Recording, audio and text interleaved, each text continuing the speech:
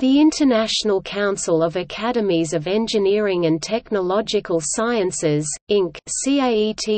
is an organization of national engineering and technological sciences academies.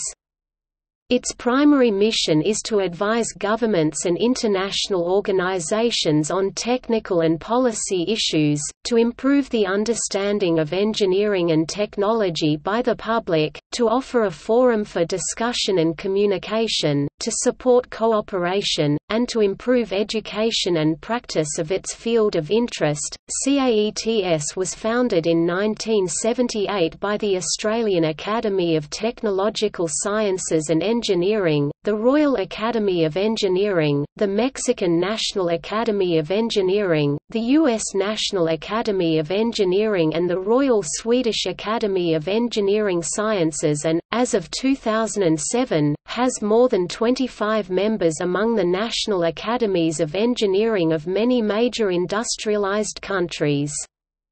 CAETS is incorporated as a 501 non-profit corporation in the District of Columbia, U.S. In October 2007, CAETS issued a statement on environment and sustainable growth, as reported by the Intergovernmental Panel on Climate Change IPCC, most of the observed global warming since the mid-20th century is very likely due to human-produced emission of greenhouse gases and this warming will continue unabated if present anthropogenic emissions continue or, worse, expand without control. CAETS, therefore, endorses the many recent calls to decrease and control greenhouse gas emissions to an acceptable level as quickly as possible.